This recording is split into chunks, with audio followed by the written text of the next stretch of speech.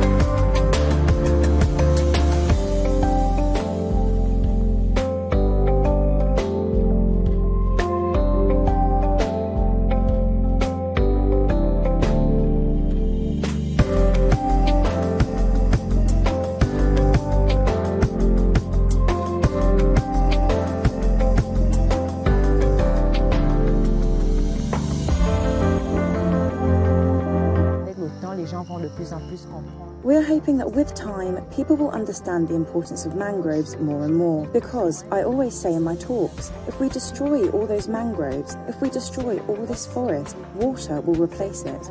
Mais c'est l'eau qui va remplacer.